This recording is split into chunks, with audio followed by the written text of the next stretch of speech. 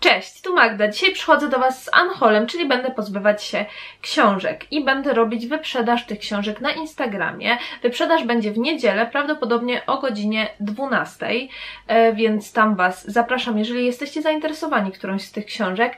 E, I chciałam jeszcze zaznaczyć, że ja Anhol robiłam jakiś czas temu, bodajże było to dwa miesiące temu e, i tam pokazałam Wam jakąś tam ilość książek. Pozbyłam się tylko czterech z nich, bo zaniedbałam sprawę i nie wystawiłam ich po prostu na sprzedaż po tym Anholu, e, dlatego teraz szybciutko tylko pokażę Wam, które mi zostały, nie będę ich w ogóle omawiać i przejdę do tych, których jeszcze nie widzieliście. Jeżeli interesuje Was coś więcej o tych książkach e, z tamtego Anholu, to tam Was odsyłam, tutaj gdzieś e, Wam się wyświetli ten Anhol, a teraz tylko je Wam szybciutko pokażę. Zostały dwie książki o pielęgnacji, pierwsza to Sekrety urody koreanek, elementarz pielęgnacji, a druga to Dieta Clear Skin, skóra bez trądziku w 6 tygodni. Następnie mam dwie części Harry'ego Pottera, czyli Harry Potter Kamień Filozoficzny oraz Harry Potter i Komnata Tajemnic. Następnie książka Rozpraw się ze swoją wewnętrzną jędzą, e, jak zacząć kochać samą siebie, a przestać się niszczyć, nie mam pojęcia co ta książka u mnie robi. Oczywiście kopnęłam statyw, mam nadzieję, że dużo się tu nie poprzestawiało. Dobra, lecimy dalej. Kolejna książka to Submarino, mam też Złoty Trójkąt, e, kolejna to e, Przygody Sherlocka Holmesa w twardej oprawie i trzy ostatnie książki z tamtego Anholu to Czy wiesz, że cię kocham, kontynuacja bestsellerowych, bestsellerowych piosenek dla Pauli. Następnie Bądź swoją siłą przez 365 dni w roku książka Demi Lovato e, oraz ostatnia książka to Projekt Szczęścia. Więc tak, te książki zostały z tamtego Anholu, one też będą wystawione na sprzedaż w niedzielę, a teraz przejdę już do tych e, nowych, o których jeszcze nie wiecie. Możemy zacząć od trzech książek w wydaniu kieszonkowym. Dwie z nich są to książki Kobena. E, pierwszy to W głębi lasu oraz druga to Ostatni szczegół. W głębi lasu doczekała się teraz e, swojej ekranizacji w postaci serialu. E, myślę, że wielu z Was słyszało o tym serialu na Netflixie. Ja go jeszcze nie obejrzałam, ale chcę. I próbowałam nawet przeczytać tą książkę, bardziej wysłuchać w audiobooku, ale Zatrzymałam się w pewnym momencie i już nie mogłam przebrnąć dalej, więc może zabiorę się po prostu za serial. I kolejna książka z tego wydania kieszonkowego to Mroczny Zaułek. I to jest historia jakiejś kobiety, która ma szczęśliwe małżeństwo, dwójkę dorosłych dzieci e, i zaczyna mieć z kimś bardzo niebezpieczny romans. I jest bodajże ona ofiarą jakiegoś zdarzenia, a później zostaje oskarżona o morderstwo.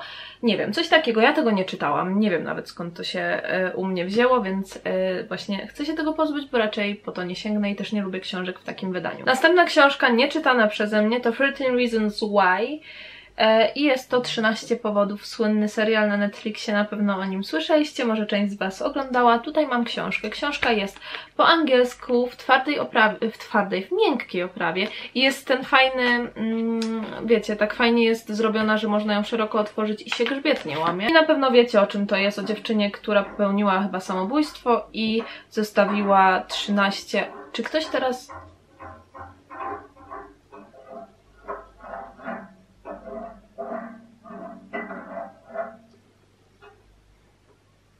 że większość z Was wie o czym to jest. Myślę, że większość z Was wie o czym to jest. O dziewczynie, która chyba popełniła samobójstwo i zostawiła 13 kaset, gdzie chyba tłumaczy, dlaczego to zrobiła. Coś takiego. Myślę, że to będzie dobra książka dla, do zaczęcia czytania po angielsku, bo myślę, że tu będzie bardzo prosty język, taki codzienny, nic e, myślę bardzo wymagającego. Następna książka to Niezrównani. E, jest to pierwsza część jakiejś serii, gdzie mamy trójkę osiemnastolatków, którzy wstępują do jakiegoś kręgu i biorą udział w jakimś konkursie, tak, zgłaszają się do konkursu um, i muszą przyciągnąć jak największą ilość gwiazd na jakąś imprezę w klubie bodajże. I mają też konkurencję, która próbuje zrobić to samo. I jest tam jakaś bardzo sławna jedna dziewczyna, która nazywa się Madison um, i gdy konkurencja już prawie wygrywa, Madison, um, okazuje się, że Madison zaginęła. Więc tak, coś takiego nie czytałam, raczej nie przeczytam, dlatego się pozbywam. Następna książka to coś, o czym na pewno słyszeliście, jest to Kołysanka z Auschwitz. I ja lubię, może lubię, nie, ale interesują mnie książki um, o tematyce wojennej, obozowej, ale to nie jest prawdziwa historia, jest to książka inspirowana prawdziwą historią e, kobiety, która um, za swoją rodziną poszła do obozu koncentracyjnego, nie musiała tego zrobić, ale z własnej woli to zrobiła i tam zostało jej powierzone prowadzenie przedszkola. E, więc na pewno jest to coś ciekawego. Ja raczej tego nie przeczytam, tak jak mówię, ja wolę y, czyste fakty, a nie książki inspirowane tymi faktami, więc tak, ale może kogoś z Was to zainteresuje. Następna książka to coś, co ja czytałam bardzo dawno temu i oglądałam film, który uwielbiam. Jest to książka Charlie. Myślę, że możecie znać inny tytuł tej książki i filmu, czyli bodajże The Perks of Being a Wallflower, coś takiego, tak mi się wydaje, że tak brzmiał ten tytuł e, oryginalny, ale nie, chyba książka jest zekranizowana pod właśnie tytułem Charlie, nie wiem, no jakoś tak. Myślę, że każdy z Was kojarzy, jest to film z Emma Watson, film przegenialny, uwielbiam go w sensie wtedy, gdy go oglądałam kilka lat temu, uwielbiałam. Nie wiem, jakbym teraz go odebrała.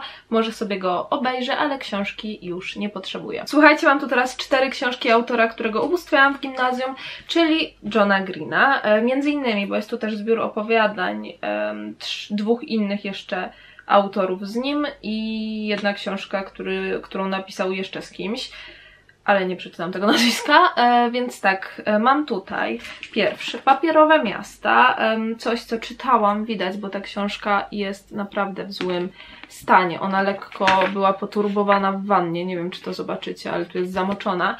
Więc no widać, że były czytane te książki, szczególnie, że one są bardzo stare, bo mają naprawdę już sporo lat. Więc tak, mam tutaj papierowe miasta, mam też śnieżną noc, świąteczne opowiadania o miłości. Pamiętam, że to mi się bardzo podobało, ale już nie pamiętam kompletnie, co tam się działo. Następna książka to 19 razy Katrin, coś, co chyba teraz zbiera mieszane opinie, z tego co pamiętam. Ja nie wiem, czy ja to skończyłam, wiem, że to czytałam, ale kompletnie nie pamiętam już tych książek, bo jak mówię, czytałam to bardzo dawno temu. Jeżeli czytaliście książki Johna Greena, to dajcie mi koniecznie znać. E, mówię o tych książkach, co kiedyś wyszły już jakiś czas temu, bo ja teraz już nie sięgam po jego książki, ale wiem, że po prostu gdy miałam tam te naście lat początkowe, to um, bardzo je lubiłam. I ostatnia książka to Will Grayson, Will Grayson, coś co ja też czytałam, ale niestety też nic z tego nie pamiętam. Następna książka to Okrutne Pragnienie i ja myślałam cały czas, że to jest erotyk i bardzo zastanawiałam się, dlaczego ja to kupiłam, jak ja tego nie czytam, takich książek. Ale okazało się, że jest to thriller ale i tak raczej go nie przeczytam. E, tutaj mamy historię dwójki osób, e, które nie wiem, czy oni są w związku, czy po prostu spotykają się dla seksu. E, tego nie wiem, ale wiem, że oni mają taką grę, że w klubie udają, że się nie znają i gdy ktoś do nich zagada obcy, dają sobie znaki, wtedy się odbijają i jakieś awantury tam wszczynają i tak dalej, nie wiem. I później to się kończy zawsze na seksie. W pewnym momencie ta dziewczyna temu swojemu kochankowi wysyła zaproszenie na ślub z innym mężczyzną, a ten kochanek traktuje to jako wstęp do kolejnej gry. Nie wiem, ja raczej tego nie przeczytam i, i też nic o tej książce nie słyszałam i nigdy jej nigdzie nie widziałam, więc tak, nawet nie wiem dlaczego ją kupiłam. Następnie dwie książki, o których ja kompletnie nic nie wiem, czyli Łowca Cieni oraz Gorzka Czekolada. Mam książki Colin Hoover. Jest to Hopeless i Losing Hope, czyli kontynuacja powieści Hopeless. Obie je czytałam już dawno temu. Pamiętam, że Hopeless mi się chyba podobało, Losing Hope nie wiem, ale no było to już bardzo dawno temu. mam je też po angielsku, dlatego chcę się pozbyć tych polskich wydań, bo je już przeczytałam. Następnie mam coś, co każdy z Was zna. Każdy. Może nie każdy czytał, ale każdy z Was zna. Czyli Zmierzch, tak? Mam Zmierzch, jedną część nieczytaną. Um, nie wiem skąd ona też się u mnie wzięła, jest u mnie bardzo długo, dlatego pora, żeby znalazła nowy dom, bo ja jej na pewno nie przeczytam. Następnie mam książkę Gabrieli Gargaś, Wieczór taki jak ten, jest to chyba świąteczna książka. Historia dziewczyny 27-letniej, która wychowuje sama swojego E, młodszego brata, w życiu też pomaga jej jej babcia i aby zdobyć trochę pieniędzy, e, postanawia na okres świąteczny wynająć pokoje w pensjonacie i zjawiają tam się jacyś goście i na samym końcu, e, gdy już myśli, że nikt się nie zjawi, zjawia się ktoś, przez kogo zmieni się jej życie. Następna książka to Lato utkane z marzeń tej samej autorki. Wydaje mi się, że to jest druga część tej serii, bo mamy tu tą samą bohaterkę, więc nie będę Wam mówić o co tu chodzi. Ale jeżeli ktoś z Was czytał, to dajcie mi znać, czy, czy dobrze mówię, czy to jest druga część serii, bo wydaje mi się, że ta seria ma trzy części. Nie wiem, coś takiego mi tam gdzieś świta. Następnie mam książkę Nicolasa Sparksa Najdłuższa podróż i przeczytam Wam, co jest na samym końcu. E, na samym końcu, na okładce, na z tyłu, na okładce. Dzieli ich właściwie wszystko. Łączy zaledwie miłość. Czy wystarczająco silna, by mogli o sobie myśleć my? Czy losy starego, żegnającego się z życiem człowieka mogą zmienić bieg historii pary młodych ludzi, którzy dopiero w życie wchodzą.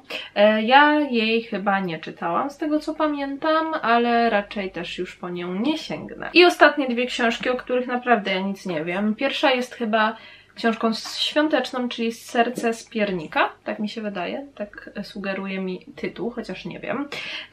I ostatnia książka to książka Katarzyny Grocholi, która skradła moje serce pod względem okładki. Bardzo mi się podoba. Podobają te kolory i ta okładka, która jest przepiękna. Książka, którą ja planowałam przeczytać, ale codziennie, mam na nią coraz mniejszą ochotę, aż w końcu podjęłam decyzję, że raczej jej nie przeczytam, e, więc się jej pozbywam, bo może akurat kogoś zainteresuje. Więc tak, to są e, wszystkie książki na ten moment, które chciałabym się pozbyć. E, wszystkie informacje o wyprzedaży będę na bieżąco wstawiać na Instagramie, ale tak jak powiedziałam, wyprzedaż na 99% będzie w niedzielę o godzinie 12 i właśnie od tej pory będziecie mogli do mnie pisać, gdy już wstawię wszystkie książki. Jeżeli czytaliście któreś z tych książek, to dajcie mi koniecznie znać, co o nich sądzicie. Ja dziękuję Wam bardzo za oglądanie. Na dzisiaj to już tyle. Widzimy się następnym razem. Cześć!